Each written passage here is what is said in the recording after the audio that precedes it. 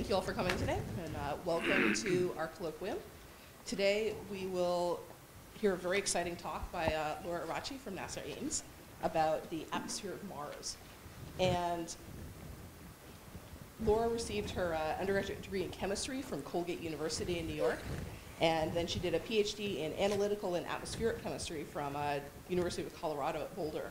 Um, she was a staff scientist at SRI International before she joined the NASA Ames Research Center in the uh, atmospheric science branch in 2000. And she's also served as the uh, special assistant to the Ames Center director from 2005 to 2006, which sounds like a very exciting job. It was actually really boring, but if he gets to be the, the NASA administrator, then I'm going to claim it was really cool. There you go. and so I'd like to welcome Laura to the talk. I'd like to remind you all that these talks are taped. You can always get them on our website on the Colloquium webpage. If you're not already a member of our uh, Colloquium email list that sends out announcements, you can go to our website at uh, www.seti.org and click on the picture of Frank Drake that says Scientific Lectures. That'll get you to the Colloquium page. And um, you can find out about upcoming talks there. Um, uh, we have a great bunch of talks set up for you guys this winter. Um, next week, for example, you can hear uh, Jeffrey Van Cleve talk about extrasolar planets and Kepler. So I'd like to turn the podium over to Laura. So remind me, am I turned on? I am, okay.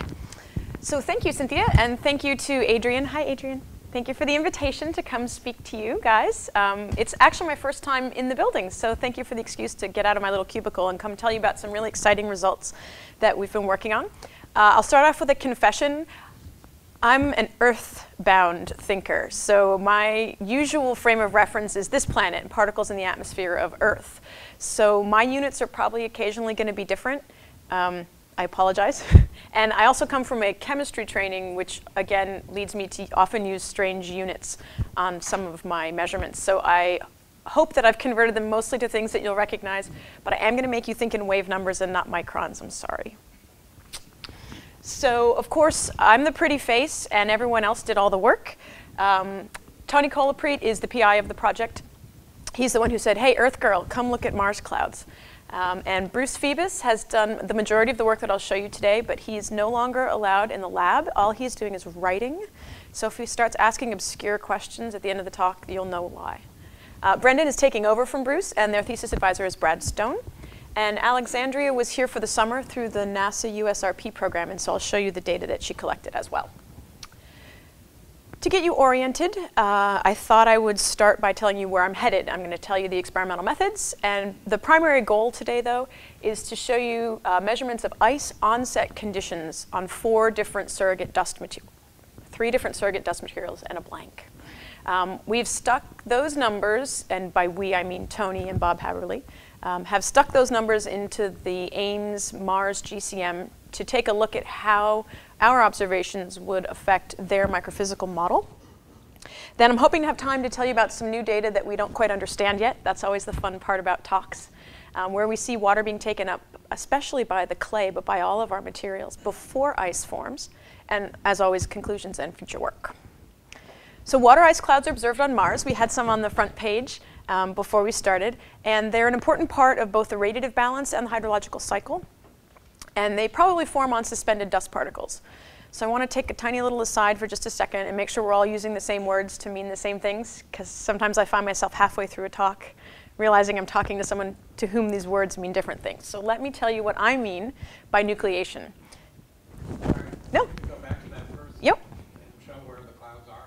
Oh, yes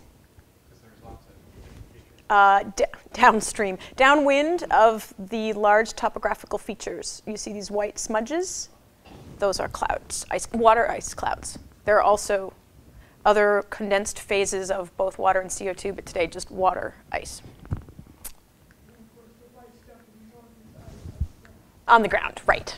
Those clouds seem to be connected with craters, is that right? Uh, uh, volcanoes. So uh, uh probably areas of fast cooling as the air lifts up and the air particle expands, it'll cool and condense. Um, okay, So classical nucleation theory is the standard treatment for how you would talk about the formation of a new phase of material. So let's say you have supercooled water, which is only metastable. It's really not the favored uh, form of water if you're, say, below zero C on this planet. But if you were to start the crystalline ice phase, that actually takes a little bit of energy to start the new phase because you have to overcome the surface tension barrier that will form between the solid and the liquid, say. So nucleation is the phenomenon of starting the new thermodynamically stable phase, and germ is the word I'm going to use to talk about the tiny collection of molecules that have to get together to form the new phase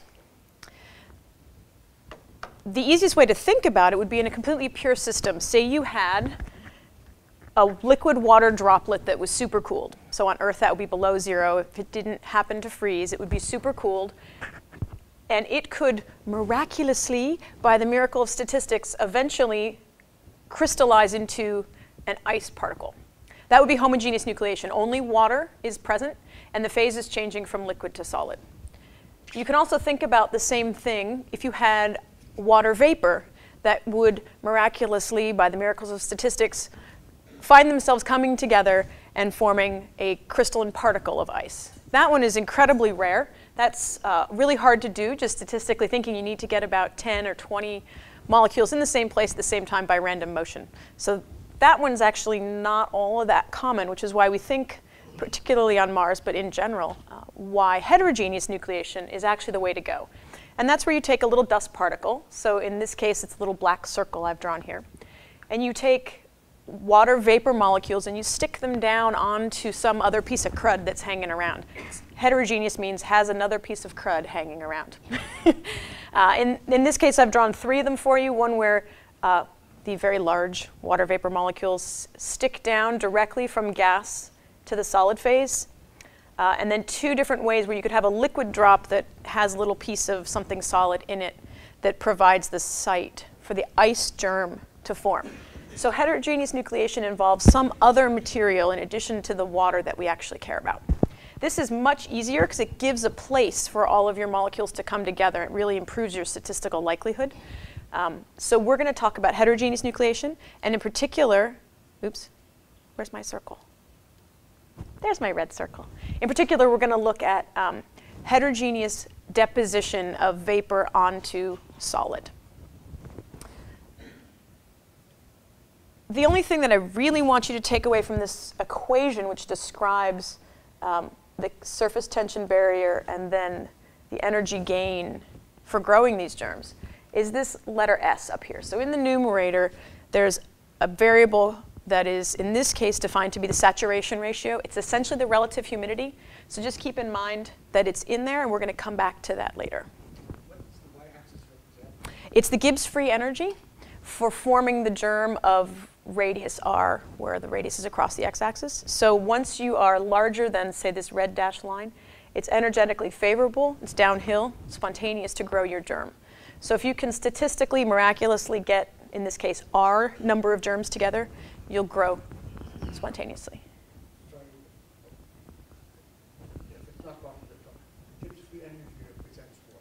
There's two terms in it. One is the penalty you pay for creating the surface tension, and then the, uh, the benefit you have for being in the thermodynamically stable phase, moving out of the metastable into the stable phase. Yeah, Jack? What causes the inflection on the right, left-hand side of At very short times? Yeah, very short. This little bit? Yeah. I haven't a clue. but I can find the equation, we can figure it out. But I don't honestly know off the top of my head. so water ice clouds are observed on Mars. It's presumed that they're heterogeneous nucleation, and given where we are in the phase diagram with the pressures and temperatures of Mars, um, it's very likely to be vapor deposition onto a piece of dust. Some of the, G, um, some of the Mars GCM models actually are addressing the microphysics of cloud formation and are modeling the physical properties of this process. Commonly, the models use a parameter that I'm just going to call m. If you care more about it, we can talk more about it, but I'm just going to call it m.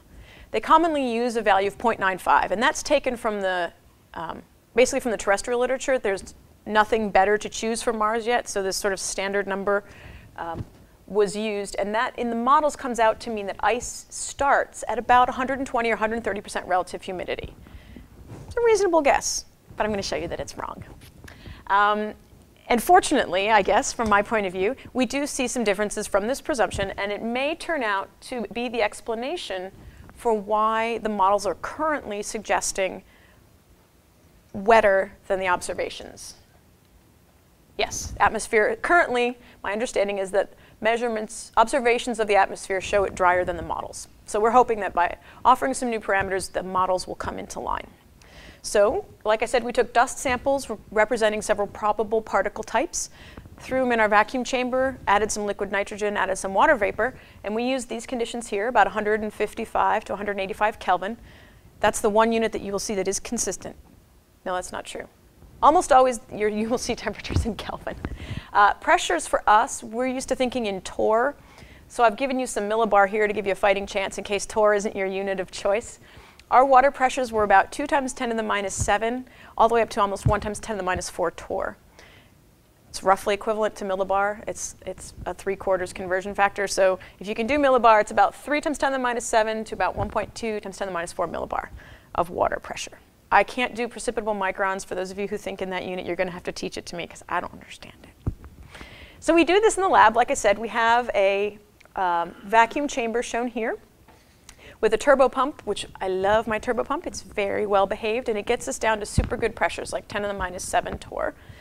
We have ion gauges, valves, uh, gate valves to protect the turbo pump, all the things you'd expect for a vacuum chamber. And then we have an infrared spectrometer, which we use to diagnose the growth of ice. We pass the infrared beam through some salt windows in and then out again from the chamber down to a detector.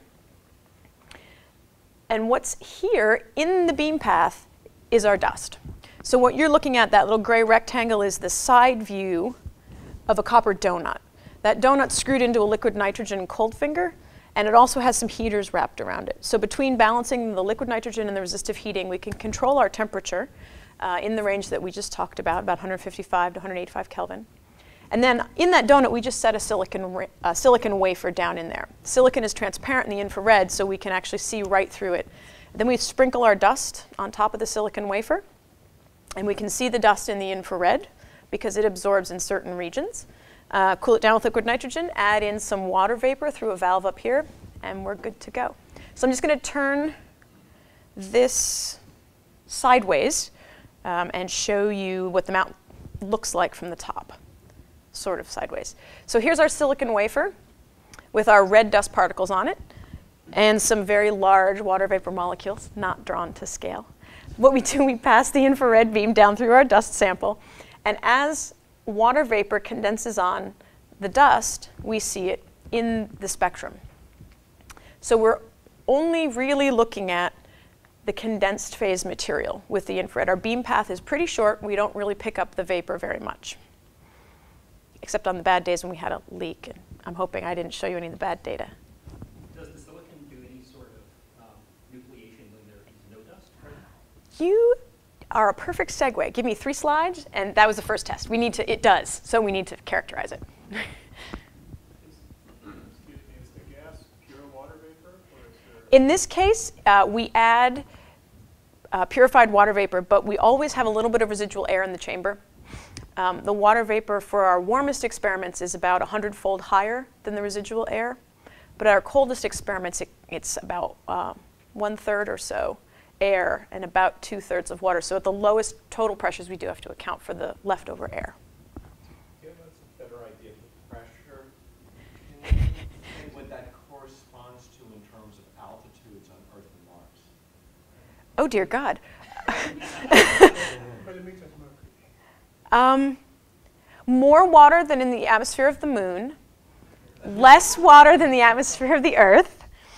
Um, mesosphere, actually, Earth mesosphere, I'm discovering. These are about the right conditions for. For the amount of water, not Yep. the, the amount, not your vacuum chamber. Right, yep.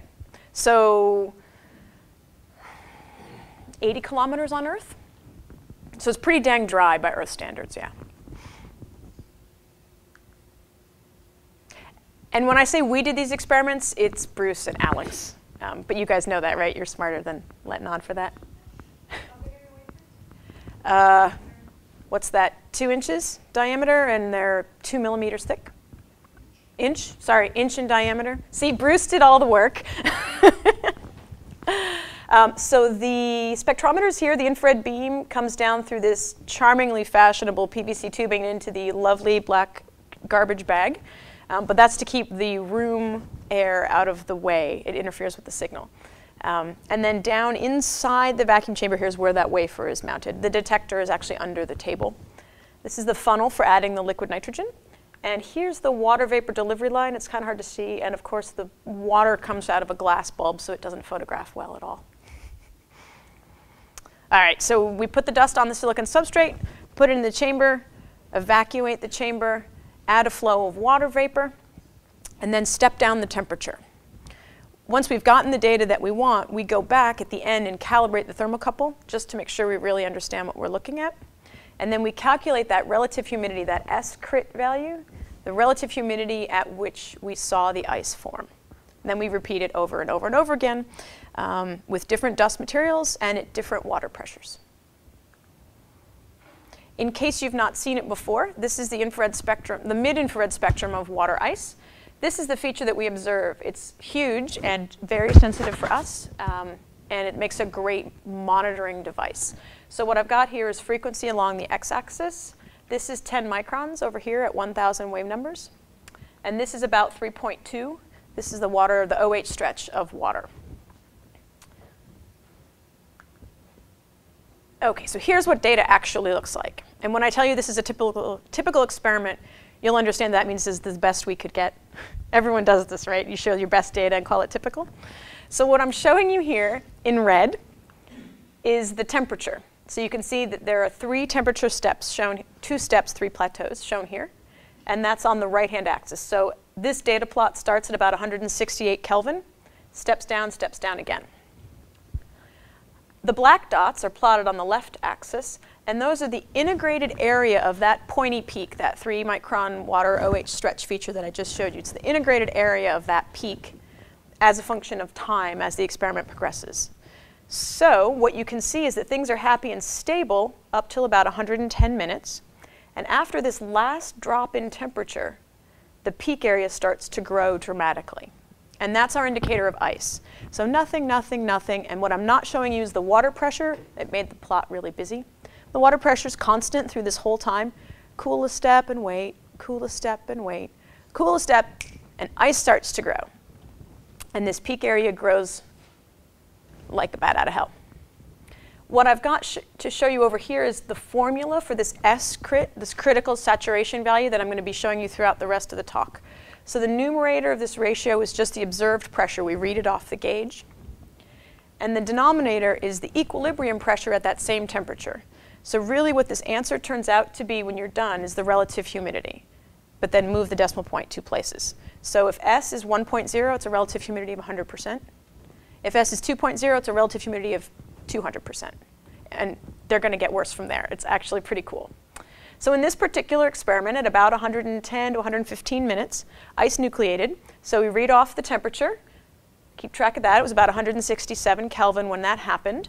The water pressure, which I'm not showing you, but we have the data, the water pressure was about 8 times 10 to the minus 6 torr. If you go to the literature and look up the denominator, you come out with a ratio of about 2.8. So it was 280% relative humidity by the time the ice finally got its act together and formed a germ and started to grow. To prove that we're honest about it, I'm also going to show you the end of this experiment. So here's what I just showed you, this early part. We grow a whole bunch of ice and then we fuss around with the temperature until it's absolutely stable. That way we know where equilibrium is. We know we can calibrate our temperatures precisely to that point. That's all you need to know from this plot. We're honest. All right, so silicon, you were asking. First thing we did was characterize the empty system, basically. We put the silicon wafer in and did this experiment that I just showed you. In fact, the experiment I just showed you is, I think, this one. Um, so at each of these different dots, we did an experiment, cooling, cooling, cooling until the ice started. Once the ice starts, we calculate the relative humidity, plot it on the y-axis against the temperature at which we saw it. You can see that over these 12 data points, um, which happens to be about three orders of magnitude in water pressure, just for reference. Over these 12 data points, which is about, what, 20 Kelvin there, we see a change of a factor of about 2. We go from about 1.5 to about 3.0 for the critical saturation for the nucleation of ice. And in fact, it's nowhere near 100% relative humidity. Let's see if I can get. Oh, that's the data point from the last page. The bottom axis is actually the 100% relative humidity line, just to calibrate you. Um, so if you were thinking that ice should turn on at about 120% relative humidity or 130% relative humidity, um, and you had silicon wafers in the atmosphere of Mars, you would be wrong. You would be predicting down here, and we're actually finding numbers that are much larger. But that's just the silicon wafer. We need something more realistic. So we went out and acquired a sample. I called the company and acquired a sample of this standard material. It's a NIST standard. It's called Arizona Test Dust, and it comes with a whole spec sheet, and everybody uses it so everyone can use the same material. It's, um, it's a silicate. It's about 70 to 75% SiO2. It's got some iron uh, and some alumina, aluminum oxide. Um, the sample we had had a volume mean diameter near 5 microns, and we see that it behaves pretty darn similarly to the silicon. So this dashed line is the fit line to the silicon data from the previous page. And I'm going to keep doing that to you. The plot will be very busy by the time we're done. Um, so here's some error bars, again, to prove that we're not completely crazy. We realize that we have some imprecision in our measurements. Um, and for these 10 or so red data points, those were 10 different conditions under which we nucleated ice on Arizona test dust. And again, we're seeing it's harder to nucleate at the cold temperatures, and it's easier at the warm temperatures. Follow Yep, sorry. The uh, top short dashes that are darker are the silicon, and then the red long dashes is the fit to the Arizona test dust. Yeah, it's going to get ugly, sorry. How, how did you clean off the silicon wafer to do your original? Unbolt it, pull it out, uh, acetone, distilled water. There's dust in the air, and you put it in, you know, it could have been nucleating. Oh, I hadn't thought about that, actually. We didn't And then you could have gotten the same control results because it's for that. Yeah, but we had a boatload more dust. Like it was covered, sprinkle, sprinkle, sprinkle. It was probably 30, 20, 30 milligrams. Um, so we know it wasn't that dirty for the blanks. And the, each, um, so roughly speaking, each set of colors that I'm going to show you is probably on the order of two or three different in and clean it out and out cycles. Um, so hopefully that will get averaged out, but I don't think it's actually going to be dominant. So, did you calibrate that, sorry, the amount of dust you put in that sort of way, so that, I mean, I'm not clear at this point whether you just dump a whole lot on and say that's gotta be totally different than the. That was our goal. Yep. Or do you just kind of go, we'll try a little bit, a little bit more, and then redo that experiment and then see if there's any effect or there's a critical point at which the mutation is, uh, That was our goal. The second thing was our goal. What we wanted to do was see the effect of the surface area. So we started with the what we thought was going to be the most obvious, you know, even Laura could do it. Experiment. We'll dump a whole bunch on there and it'll show this dramatic effect and then we'll back off. We didn't see a dramatic effect actually. Within, within the error bars, these are the same answers, either with like a teaspoon of dust or none at all, which was really quite surprising. We were going to do exactly what you suggested and it didn't. The universe was not cooperating. So then we thought, okay, Arizona test dust, it is basically a silicon wafer ground up, right? It's just almost entirely SiO2. So we know that clays absorb water. We know that clays are a possibility in certain places on Mars. So we found ourselves a clay, and we figured if it's going to suck up water, it's going to be a great nucleator. We're going to get the most obvious data that anyone could ever want. Uh, so we found a sample where about 50% of the particles have itty bitty, itty bitty bitty diameters. We're trying to get the surface area bumped up.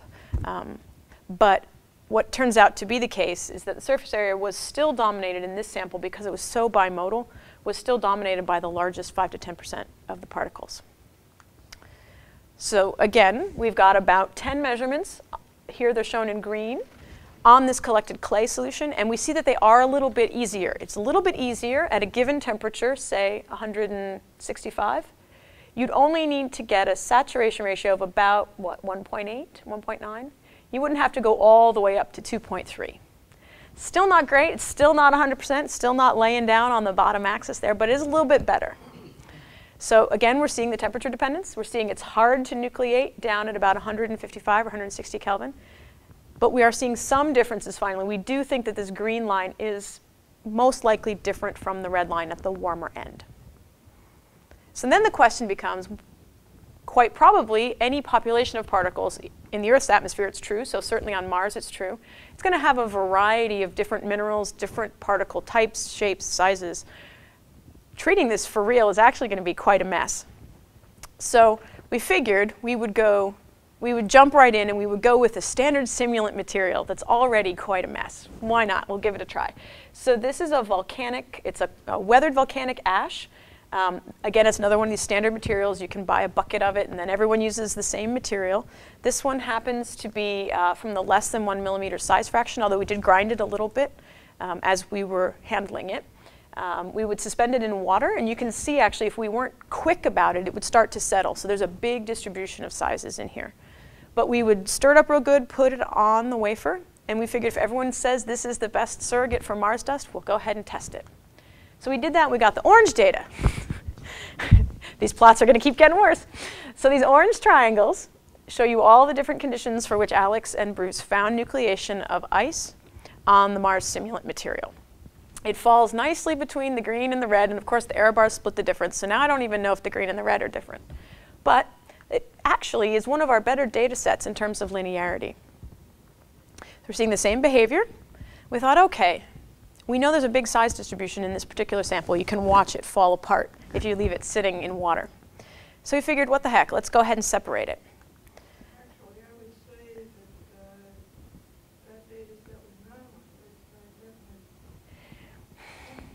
We thought that for sure uh, until we added that data point. we also have a third, is it this one? There, our uncertainties are real bad on the cold end because the water pressures are so small and the air, the background air becomes a big uncertainty for us, which is why you'll notice the error bars on the left edge are much bigger. So I'm uncomfortable fitting um, a steeply rising curve through our worst uncertainty region. But I could see, and in fact, the, the clay data looked like that too. And we had originally started out fitting it that way, and once we got a look at the error bars, it just wasn't comfortable. Yeah. So Alex took a sample, shook it up real good. Actually, she even found a centrifuge uh, and took a top light floating fraction and a dark heavy settling to the bottom fraction. Here are some micrographs to show you how they look a little bit different. They're hard to see, um, even up close. They're, it's hard to understand really what's going on in some of these pictures. The bottom is the easy one. The dark fraction, it looks like sand. It's big, chunky, lumpy stuff. Uh, the scale bar here, the red dashes are millimeter, just to give you some perspective. The top, well, maybe the next easiest one is the whole sample on the left. You probably can't see, but I can tell you because I'm standing up here that there are some dark pebbles in here that are pretty much this subset that are collected in the captured in this image. So these dark ones are found in here. And so are these itty bitty, tiny, fluffy, little itty bitty particles that clump together in these big regions. So here you can see a big clumpy zone. Here's another big clump. And those clumps are replicated in, in, um, just by using the light fraction that floats to the top. This is future work. You'll see this topic come back. um, but if you take the big chunky rocks that settle to the bottom and you put them back in the chamber, you do the experiment all over again, you get the same answer. So that's really quite reassuring. These olive, khaki colored circles look pretty much to my eye to be joining the population of orange triangles. Okay, good, no surprises. Congratulations, summer student, your project worked. Until she did the next ones, which was she took the floating top light tiny material, and those are these pink data points down here at the bottom. At the warmer temperatures, they look like they're in the same population, but we're pretty sure that these are different answers. We've repeated them, we've checked the error propagation. We're pretty sure that these are different answers. And we don't understand why, which is what makes this a really cool project. Um, we suspect it's a size phenomenon, but it's the opposite of the size phenomenon we were expecting. So give me six months and we'll have another answer for you. Sorry, can I ask you, why did you not push the data out below to- Water pressure. The pressures are really low down here, and it makes the uncertainties huge, and it makes the Um, experimenters frustrated. Why were you expecting it to go the other way? would have thought that increasing the amount, the relative amount of surface area would have helped. Wait, it does. Why did I? That must be my Australian brain. I must have everything backwards. Can I make Adrian Brown jokes since he's not here? That's okay, right? Uh, I forget. Maybe this should have been what we expected. I'll get back to you, Jack. but it does look like it's easier on this light fraction of the simulant material. It does look like it's easier at the colder temperatures. I mean, it's still not 100% relative humidity, but it does look easier. I'm I'm not quite clear, when you say light fraction, you mean it's lighter colored or it's got a lower density? Yes, it happens to be both. It was separated by centrifuge, so technically it is the lighter density, but it does. Of course, on Mars, the stuff that gets wafted into the atmosphere and stays there is going to be preferentially Small. lighter than the stuff Well, at least smaller. It might not be a, yeah, it might not so much be a density as a drag. Yeah. But yeah, in this case, it happens to be both for this particular material. The other thing we don't understand is why, I mean, there was, there was a large percentage of pink fraction in the orange fraction. The orange is the whole thing just scooped out of the bottle. So we don't understand how it got better when it was separated from its cousins. So that's something that Brendan actually is going to be looking at for us. Right. What are you normalizing? You're normalizing the same mass of stuff you put on? No, in fact, we don't have that data. We don't know how much mass we put on, and I would like to be able to do that, but we do not know that.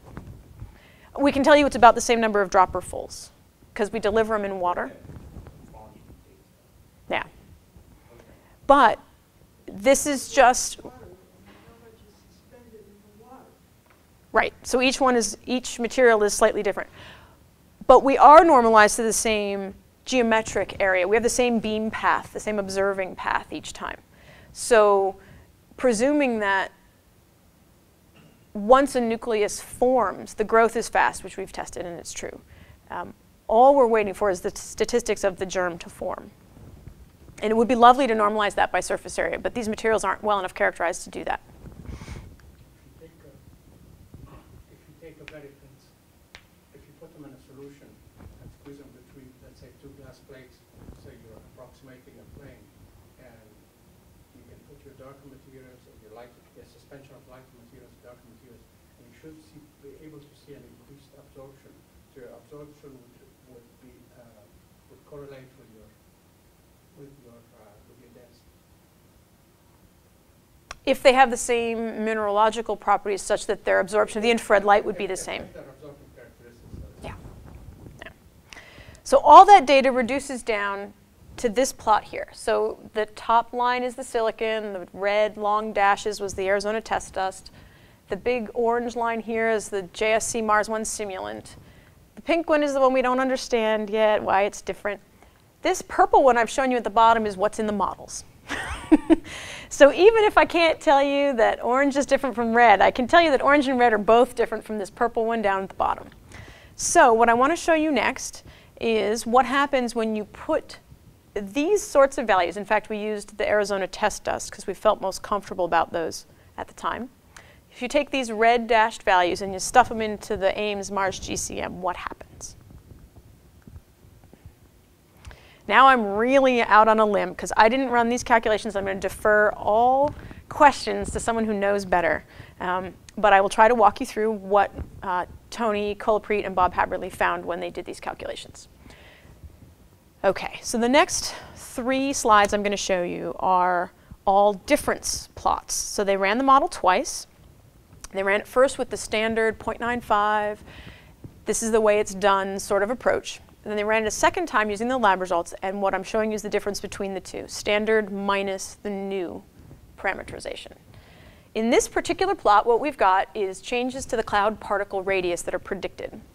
This is a latitude on the y, time on the x plot, and if I've counted right, this is two, no, this is three full years. So L sub s is running across the bottom, um, which is correlated with season in a way that I once learned and no longer really remember well. But my recollection is that about uh, 90, L sub s of 90, so about here, and then again about here. That's the summer solstice? In the north. Right, thank you. um, and you'll see that a, a, lot of the areas where we see changes, so green is not terribly significant. Um, in case you can't read it, that's sort of where zero is centered. It's in the middle of the teals and the greens. The darker, the blue and purple, the darker regions are uh, in the negative part of the scale, so those particles are larger with the new formulation. In the reds and yellows and oranges, those values are positive, so what that means is that the standard was larger and the smaller new number was subtracted away. So in the red places, the model's now predicting smaller particles with the new formulation. So you'll see regions of both, blues and reds, and you'll see that there's usually the red is centered again around L sub, L sub S 90 to 100. Um, and it seems to be more so in the mid latitudes, but also in the northern high latitudes. So the particle sizes in the clouds are changing in both directions. This is where it starts to confuse the heck out of me because I'm used to thinking of one vapor pressure and one temperature in my little chamber, and this is the whole globe for three years. Well, what else can we look at? We also would want to know about the water vapor column. Does the atmosphere get wetter or drier? Well, in general, as the red areas show you, the lab parameters are giving us a drier atmosphere. So again, of course, it's temporally dependent, it's latitudinally dependent, and positive red values are showing you that the standard value was higher, and when they put the lab-derived parameters into the model, they got a drier atmosphere. And of course, these are all preliminary. We've only put in the Arizona test dust model uh, parameters yet. We certainly want to do the clay, and then I really want to see what happens when you mix the clay together with, say, the, the simulant material. And this is one of my favorites. It shows that the surface frost changes. It changes in location, and it changes in thickness. So if you look, again, this is north to south on the y-axis, time across the bottom.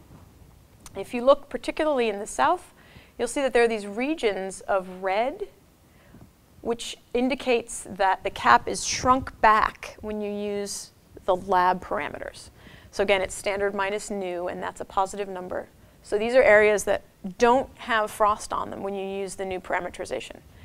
What winds up happening then, of course, is you wind up with a little more frost behind you. It gets a little bit thicker closer to the pole. And so this is a really neat feedback from my point of view because it also begs a lot of questions about um, dust scavenging and how does any dust particle that gets deposited change the albedo of the ice, which then will change the radiative balance locally. So this is going to turn out to be a really interesting result. We don't understand it yet, and we're not done, but it's really quite tantalizing. So in general, when we use the temperature-dependent lab results in the model, we see that there are significant differences, differences to cloud particle, cloud particle size and mass, and we see that in general, for latitudes below about 60 degrees, that the cloud particles are larger. The Larger particles lead to a drying out of the interhemispherical circulation. Um, and in general, there's an overall drying of the atmosphere by about 20 to 50% when you use the lab-based parameters in the model. You know, I don't have the strength for this plot. this plot gets us every time. Every time we look at this, we realize we've defined the axes backwards. Um, what it's supposed to be, and I can't even promise that we've got it right yet, but I'm going to try. What it's supposed to be showing you, here's uh, here's zero or no change. And again, this is a standard model compared to a constrained model. And this is the line of no change. Black is the water vapor in the atmosphere, and this bluish purple is the vapor, the water mass in the clouds. You'll notice that almost all the excursions go negative, and that's because things are drying with the new parameters. So again, it's time across Here's L sub s. It's time across the x and amount of change on the y. But you see that they're tracking together, the vapor and the clouds, and they're always negative pointing. I was once giving this at, I forget where, and realized as I was describing that the axes were upside down. so I'm going to take just a couple of minutes at the end and show you the new cool stuff that we're finding. Um, I've been talking all about ice so far, frozen water on dusts.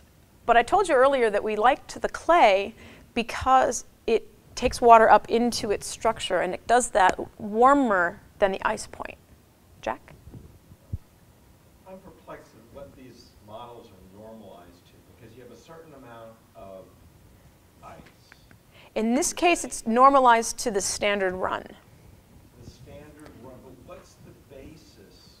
It's the presumption that ice begins at 120 to 130% relative humidity, that it turns on the new trying- phase. But you're trying to fit to the amount of clouds observed?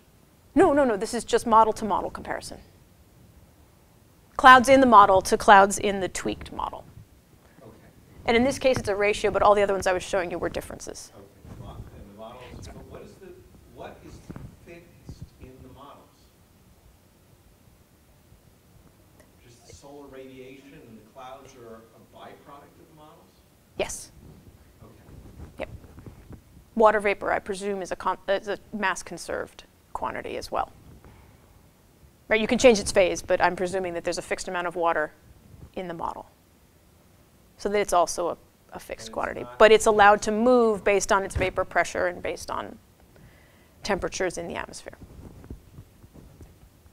So if you're saying that the standard model is doing such a bad job compared to what you're seeing in the lab, somebody must have noticed before that it isn't actually modeling Mars very well based on observation.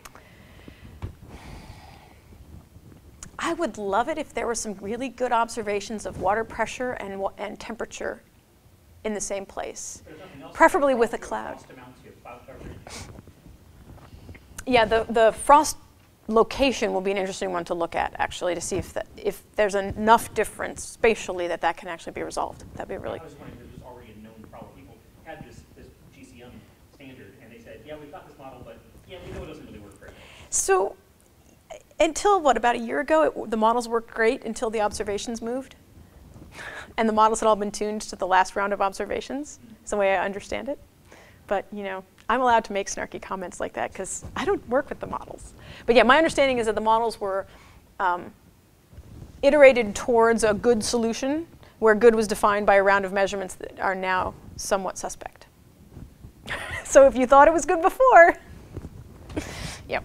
So, so we have a, a, a model with an unknown uh, being compared with a new model with some parameters changed and the rest of it with an unknown amount of. Exactly, and probably an unknown amount of errors of unknown sign. and probably opposite signs, right? But this one's a really neat observation, and uh, I hope to be able to quantify this a little better for you next time um, that we talk. Because what we're seeing, remember this pointy feature, so again, this is an infrared spectrum, sorry, this is frequency and absorption in the y direction. This pointy red spectrum here is crystalline ice. It's lovely, beautiful, happy crystalline water ice. This round, lumpy gray one on the bottom sure looks like pretty much like liquid water. And the way I see it, and you ho- hopefully you can see the same, the red pointy crystalline one kind of grows out or happens afterwards or happens somewhere in the beam path. So we've already got some of this liquid-like water available probably in the interstitial layers of the clay. And we see if we just monitor that region during the times when we don't have ice, so we're too warm to have ice, we still see that this peak area, right, so we're integrating, integrating this region anyway, even though it's not pointy. Time, sorry, time progressing from gray up to red. Uh, we integrate this area here, and I'm only going to show you before the ice is obvious. It's actually a different experiment. We went to a region of conditions where we knew we would not get ice. And you see that that peak area, as it's exposed, as we open the water here at about, I don't know, 30 minutes, that peak area grows and it starts to level off, but it's not actually done. But it had been 200 minutes, so Bruce dropped the pressure. He dropped it quite a bit, almost three orders of magnitude. And just a little bit of water came off. It didn't drop back down to where it had been. Just a little bit came off, but it kept coming off slowly for about another 200 minutes more. At this point, it's time to run for the bus, or Caltrain, I guess, in Bruce's case, and get home. Um, so we don't know what happens if we were to have waited days and days and days. And we're trying to design an experiment that actually can run unattended so that we can do that experiment. But we see this fast uptake, but never reaches equilibrium. And then we see that we only get this little bit back off. So we're thinking that this may actually, oh, sorry. I get clever every once in a while with PowerPoint. We're thinking that this may actually be uh, a plausible reservoir for, and here's where I really wish we had mass calibrations, for some amount of water in the Martian atmosphere, and certainly it's been addressed before for the regolith. Um, and of course, we want to do the same thing on the simulant material, and we see, this, we see the same behavior. This fast uptake of water, by fast I mean 100 minutes, and then a little bit comes back off, but really not very much. So it's storing some water, which is really a neat idea to think about. And that's one more thing that we're hoping to pursue in our future work. So I hope I've told you today that Martian clouds don't turn on at 100% relative humidity. The presumption has always been about 120 or about 130 based on some terrestrial measurements, but we're finding 200, 300% relative humidity at the really cold temperatures seems to be required. And it seems to be more about the water and the surface tension than it does about the dust. We tried several different materials and we saw similar behavior on all of them. Although uh, the clay is best unless you take the light fraction off the top of the JSC simulant, in which case that's definitely uh, the best nucleus that we're finding, but we don't understand why it's so much better than the whole sample put together. Clearly the models are needed to evaluate the implications of these findings. Um, there are several different feedback processes going on, um, all kinds of transport mechanisms, and that's going to take some serious uh, pulling apart to figure out what processes are really driving the transport of water, the changes in the transport of water. And last, I showed you just quickly that clay and the JSC1 Mars simulant both uptake and then retain some water. Future work, of course, figure out what's different about the light and the dark fractions. Is it just size? Because that we can measure. We can get some standard materials that are well characterized, and we're going to go into the lab and we're going to try them all as a function of size. Hopefully, that will work. But if it doesn't, the next thing that we're suspicious of actually is particle shape. Are the little ones more spherical? Are they less spherical? Are they more, more pointy and craggy? And do they offer more little nucleation sites? Once we get all the nucleation stuff figured out, we want to look at the growth rate, actually, and get an understanding of how fast these particles will grow and um, if there's an influence of the CO2 bath gas. So everything I showed you is just water vapor and a little bit of residual air that our pump doesn't get. But really, on Mars, there's a fair bit of CO2 available. So we want to try that, make sure that there isn't a difference. Mathematically, we think there isn't, but we just want to try it and make sure. And of course, we need to investigate the role of Australians in US politics. I want to thank Adrian for inviting me and Cynthia for doing all the work of having me today. And lots of folks need to be acknowledged. Obviously, my co-authors who did the majority of the work for this project, but also NASA Planetary Atmospheres and the Undergraduate Student Research Program for funding. I didn't design the chamber, I didn't assemble it. Lots of folks helped me figure out what was going, helped us make things happen and helped us figure out what was going on. And all sorts of people really make it happen. So thank you for your attention today. And if you see any of these people, thank them for me as well.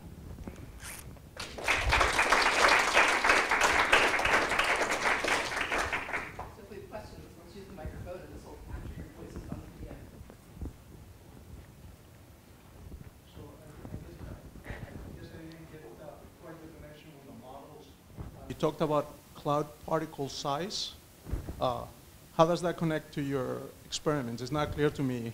Uh, You know, you have particles lofted in the air, they're free to move around. Your experiment is not quite like that. Can you say a little bit more about Right, so there were about three equations that I decided I just wasn't going to go through. So that's why it wasn't obvious. Um, what we measure is the critical saturation ratio for ice to form. And if you take that and you decompose it through the terms, the energetic terms in that, the curve that I showed you that had the maximum, you take that and you go a couple more equations down, you get to this m parameter, which is thought to be the contact, the cosine of the contact angle between the germ and the dust. That's a transferable parameter. So we take our data, we reduce it down to this contact angle, and then we give the contact angle to the model, which builds it back up depending on the size of the dust particle. Oh, so Tony must set a dust particle size distribution in the model. And it takes the m parameter, calculates the angle, propagates forward again. So that's the piece that I left out.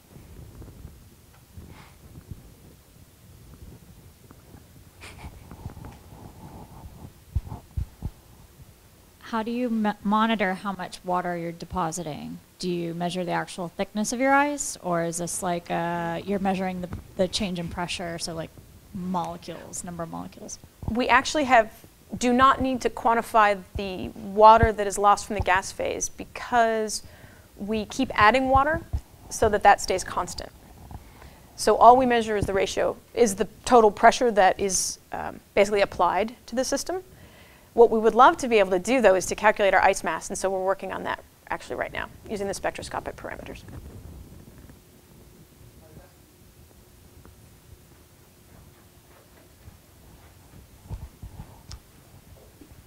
Here on Earth, the process of uh,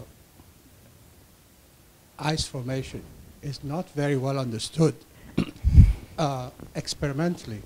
And this was found by um, some student in Africa, I think, at the behest of his science teacher.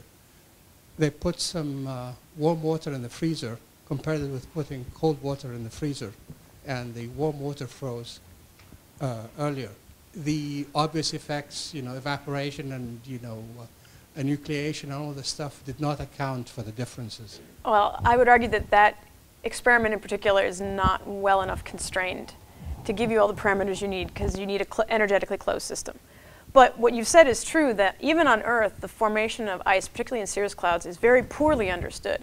In fact, everyone thought they understood it until they realized that the field measurements weren't wrong. See, you know, the theoretical chemists and the meteorologists, they all blame the instrumentalists. I take it kind of personally. But they always were saying, oh, well, we know the vapor pressure of ice, so this water measurement in this, water vapor measurement in the cloud must be wrong. Well, they now have four different people measuring it, and it's not wrong.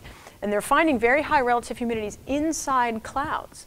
So you've got a cirrus cloud on Earth, and it's got a relative humidity of like 140% inside the cloud you would never expect that because you would think that all that water vapor should just stick down. You should just grow the particles. They're finding that that's not the case. And so it's clearly far from understood on Earth. It's definitely true.